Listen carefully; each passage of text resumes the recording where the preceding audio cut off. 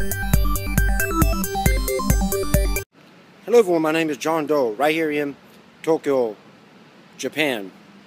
Currently I'm in Ginza today. This is the um, extremely bourgeois area of, of Tokyo, but sometimes you gotta come down here to take care of some business. But let's deal with the issue at hand.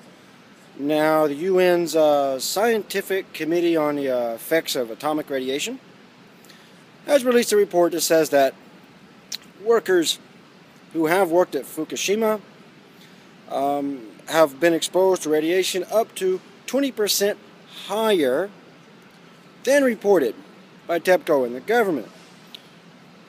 Now, this is something that we've all known to be true. We've had plenty of things come out. We've had subcontractors uh, forcing workers to cover their Geiger counters of lead plating. We've had TEPCO sending workers around the stored contaminated water with Geiger counters that only go up to 200 millisieverts per hour. And we've had many examples of this time and time again. So it should not come as a surprise to us. But the thing we should look at here is why. Why?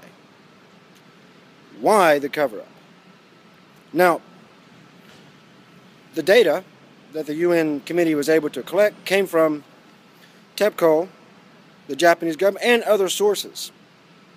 And it came out to say that they didn't even check for certain types of radiation. We're talking about iodine there.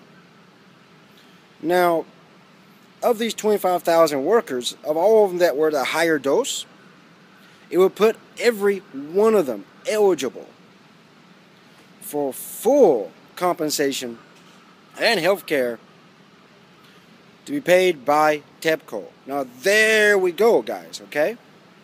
That brings up something very key.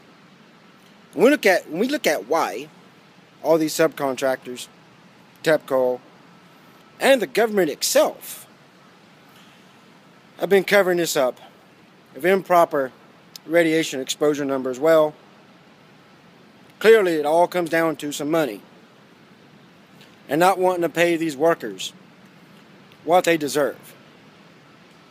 These workers are going to need extensive health coverage well into the future.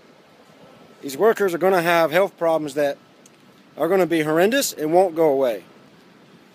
And they deserve the legal compensation coming to them. And they deserve TEPCO to pay all of the health care that would come with it. But TEPCO is only legally required to do that when they when these workers go over a certain exposure level of radiation. So you see here, all this time we've watched cover-ups, efforts made to make instruments impossible, to collect the right information on exposure limits. We've had TEPCO again again admit that with the Fukushima residents, they have not been collecting data properly. It all comes down to money and greed here. The capitalist class, you see, don't want to pay workers for the sacrifice they're making. They don't want to give a damn about people who are basically saving their own ass here in Japan. You got these workers going to Fukushima, going to sacrifice their entire life, okay? These men and women are going to die, all right? They're not going to have a happy existence after doing this type of work.